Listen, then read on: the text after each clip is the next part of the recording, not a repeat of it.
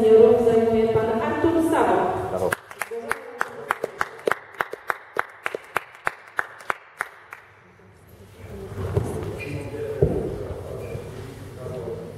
Drugie zajęte miejsce zajmuje Dzidak Karol z Poznania.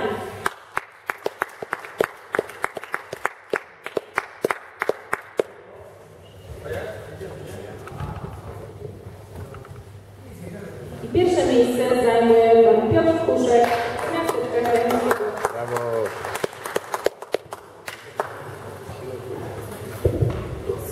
PKS Michał. I ostatnia nagroda wyjątkowa. Fotka, moment. W kategorii seniorów. Moment, fotka. Dla pani Błaszczyk Bereniki. Brawo.